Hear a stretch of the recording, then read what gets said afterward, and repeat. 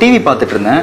திடீர்னு என் கால்வனி மறுத்து போச்சு. அடிக்கடி மறுத்து போகும்போது என்னன்னு செக் பண்ணா ஹெச்பிஏஒன்சி லெவல் லெவன் பர்சன்ட் எனக்கு டயபெட்டிஸ்னு சொல்லிட்டாங்க. கொஞ்சம் விட்டுருந்தா என் காலே வெட்ட நிலைமைக்கு போயிருப்பேன்னு சொன்னாங்க. என்னோட பார்வையில பிரச்சனையாவே இருந்துச்சு. என்னன்னு செக் பண்ணா ஹெச்பிஒன்சி லெவல் ஜாஸ்தியா இருந்தது. எனக்கு டயபெட்டிஸ் உடனே கரெக்ட் பண்ணலனா பார்வையே போயிடும்னு சொல்லிட்டாங்க. டபிள்யூஹெச்ஓவின் அறிக்கைப்படி நல்ல உணவு முறையும் ஆக்டிவான லைஃப் ஸ்டைலும் மட்டும் தான் டயபெட்டிஸை ப்ரிவென்ட் பண்ணும். என்னோட ரெக்கமெண்டேஷன் சிறுதானியத்தை உங்க தினசரி டயட்டா எடுத்துக்கோங்க. டெய்லி வாக் பண்ணுங்க டயபெட்டிஸை வெல்லுங்க.